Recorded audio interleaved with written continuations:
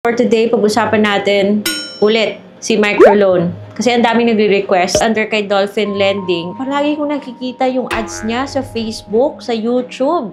So parang going strong pa rin yung loan app na to despite sa dami nang nagre-reklamo sa kanya. Kung kayo ay nagbabalak pa lang sa loan app na to at hindi nyo pa nada-download, eh mas mabuti pa panoorin nyo muna yung video na to guys. Para meron kayong heads up, iba na yung maingat. Keep watching.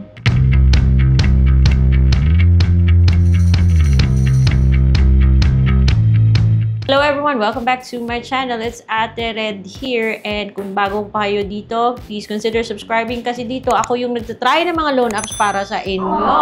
Para kayo ay may heads up at alam nyo kung anong meron bago pa man kayo mapadownload at mag-try ng mga loan app na to. Kasi sa loan app na to guys, na under sa kay Dolphin Lending, kahit na rehistrado po siya, hmm, marami akong mga naririnig ng mga horror stories. Kung hindi nyo pa na-download yung loan app na to, then at least makakapag-decide kayo in the end kung push through nyo ba o hindi. Ayaw natin ang sakit sa ulo guys eh. Prevention is better than cure. Yung loan app na to ay humihingi ng isang valid ID, magsi-selfie, yung personal information nyo. Actually, nas nasilip ko na to, ko na to, magwa one year na since last ko tong sinubukan.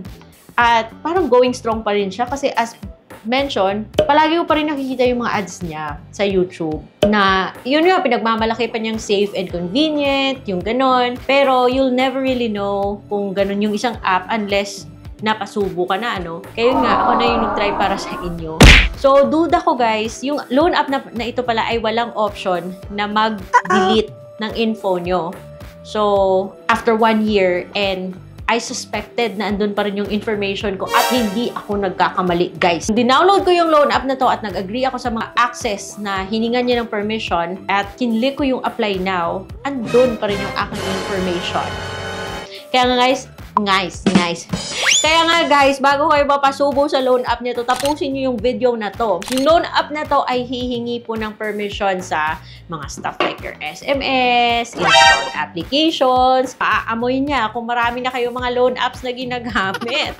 Which can be a reason kung bakit tayo nag And also guys, sisilipin niya rin yung mga bituka ng cellphone mo. I'm talking about yung device information, yung mga EMEI, yung mga ganon, diba? Dapat pinipili natin na mabuti ano-anong mga loan apps yung binibigyan natin ng access. At mahirap na. Dinownload ko yung loan app na to for the second time to see kung meron ba siyang improvement. Alam nyo, parang auto-submit siya. Hindi mo pa nakikita kung ano yung mga ibabawas niya sa loan mo. Auto-submit siya. Saan ba nanggagaling yung mga stars nito? Bakit meron siyang 4.6 na rating dun sa Google Play? Eh, ang dami naman nagbibigay sa kanya ng 1 star dahil hindi po sila satisfied sa loan app na to. So like I said, wag nyo munang i-download. Ayun, hihingi siya ng phone number mo at pagkatapos mag-OTP ka at lalabas to yung kanyang dashboard. Sabi niya nga is 30,000 pesos daw yung maximum loanable amount. At sinasabi niya 120 days at pababa yung interest but that doesn't always happen kung first time mo mag-loan sa isang loan app. Usually kapag first time mo, mag expect ka na mababa yung loan na ibibigay sa'yo and usually, usually,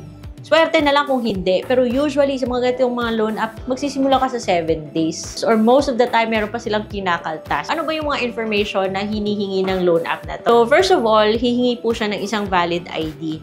At yung valid IDs na hinihingi niya, UMID, SSS, TIN, passport, driving license. Pwede rin yung national ID, voter's ID, health ID nyo. Kayo dyan, ha, dapat nag-iingat kayo kung saan yung pinagsasubmit yung mga IDs na yan. Aside from that, yung hihingi niya is your personal information. Kasama na yung um, name, gender, birthday. Loan app na to, take note, hihingi po siya ng Facebook link. Magpo-proceed pa ba kayo sa isang loan app na humihingi ng Facebook link. Eh, yung mga legit nga na mga loan apps, hindi nga humihingi ng Facebook link. Bakit ito humihingi? Kasi hihingi niya rin yung work experience mo. Yung emergency contacts na hihingi niya are dalawa. Pero pa siyang pa-statement sa baba na we take the privacy of our customers very seriously. For those who do not receive the loan, their data will be automatically deleted after one week. Bakit after one year, nasa kanila pa rin yung information ko?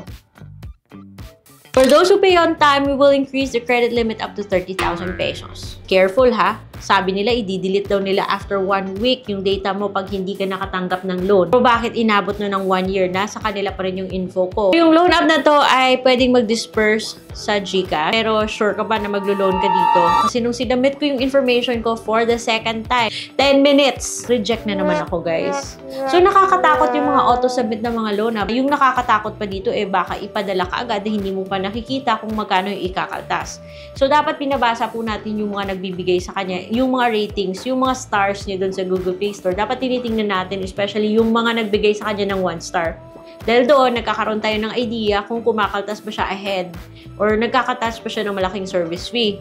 Tulad ng isa dito na nagsabi na para sa kanya scam daw yung app na to. No loan agreement plus the money will be automatically approved. So auto-submit, auto-approve without you knowing beforehand kung magkano yung a-approve, magkano yung i-deduct. Ayaw natin sa mga loan app na ang laki palang kinakaltas, ba? So buti na lang at ako'y na-reject for the second time. Pero yung ayaw ko is bakit? And nasa kanila pa rin yung information ko. Eh wala naman ako natanggap sa kanila kasi ni-reject nila ako one year ago. And ngayon, Nasa kanila pa rin yung information. Wala pong option dito na magpa-delete ng account. Kaya nga kayo guys, careful kayo dito ha. Pero nasa inyo yan. Yung isa dito, nagsabi pa na, I return the money that you disbursed in my account worth 780. 780 yung na-disburse sa kanya. Pero yung kanyang loan pala is 1,200.